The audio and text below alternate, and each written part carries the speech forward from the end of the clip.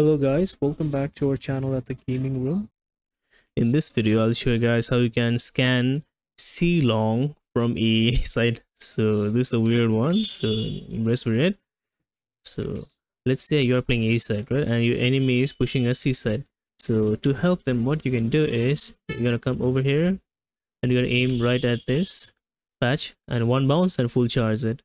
So so once you've done that, one bounce and full charge, you're gonna release that and as you can see this scan will uh, land right at C-Long just like that. So it will detect enemy enemy pushing over C-Long and it does help your teammate a lot.